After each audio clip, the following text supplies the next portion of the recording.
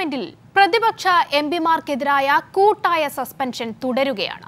രാജ്യസഭയിൽ Aam Aadmi M P Sushil Kumar Gupta അടക്കം മൂന്ന് എം പിമാർക്കെതിരെയാണ് ഇന്നത്തെ സസ്പെൻഷൻ നടപടി.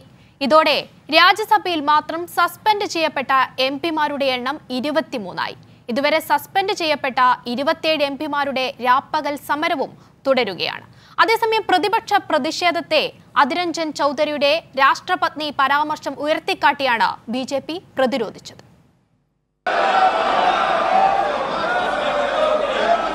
പ്രതിഷേധങ്ങളുടെ പശ്ചാത്തലത്തിൽ നടപടി കൂടുതൽ കടുപ്പിക്കുകയാണ് ഭരണപക്ഷം.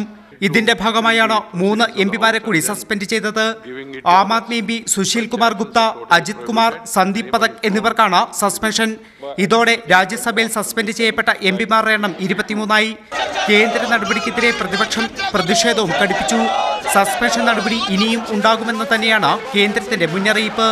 Members be suspended from the services of the council of the remainder of the current week under rule 256 suspend ചെയ്യപ്പെട്ട എം പിമാരുടെ രാപ്പകൽ സമരവും പാർലമെന്റ് വളപ്പിലെ ഗാന്ധി പ്രതിമയ്ക്ക് മുന്നിൽ തുടരുന്നു. കേന്ദ്ര സർക്കാർ പ്രതികാര നടപടിയുമായി മുന്നോട്ടു പോകുന്ന സാഹചര്യത്തിൽ പ്രതിപക്ഷം കൂടുതൽ ശക്തമായ സമരപരിപാടികൾ ആവിഷ്കരിക്കും. അതേസമയം വിലക്കയറ്റം എം പിമാരുടെ സസ്പെൻഷൻ എന്നീ വിഷയങ്ങളിലെ പ്രതിഷേധങ്ങളെ കോൺഗ്രസ് നേതാവ് അധീർ രഞ്ജൻ ചൗധരിയുടെ രാഷ്ട്രപത്നി പരാമർശം ഉയർത്തിയാണ് ബി പ്രതിരോധിക്കുന്നത്. ഇരു സഭകളിലും അധീർ രഞ്ജൻ ചൗധരിക്കെതിരായ പ്രമേയം അവതരിപ്പിച്ചു. ലോക്സഭയിൽ സ്മൃതി ഇറാനിയും രാജ്യസഭയിൽ നിർമ്മല സീതാരാമനുമാണ് പ്രമേയം അവതരിപ്പിച്ചത് സോണിയാഗാന്ധിയെയും കടന്നാക്രമിച്ചായിരുന്നു സ്മൃതി ഇറാനിയുടെ പ്രമേയ അവതരണം मैं आज इस सदन में कांग्रेस की मुख्य विराजमान है उनसे पूछना चाहती हूँ you sanction the humiliation of Draupadi Murmu you sanction the humiliation of the Sonia Gandhi രാഷ്ട്രപതി ദ്രൗപതി മുർമുവിനോടും രാജ്യത്തോടും മാപ്പ് പറയണമെന്ന് നിർമ്മലാ സീതാരാമൻ ആവശ്യപ്പെട്ടു.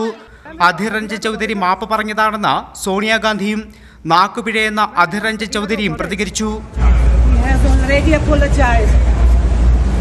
വർഷകാല സമ്മേളനം ഒൻപതാം ദിനത്തിലേക്ക് എത്തുമ്പോൾ ഭരണ പ്രതിപക്ഷ പോരിലേക്കാണ് കാര്യങ്ങൾ എത്തി നിൽക്കുന്നത്. കൈരളി ന്യൂസ് ദില്ലി.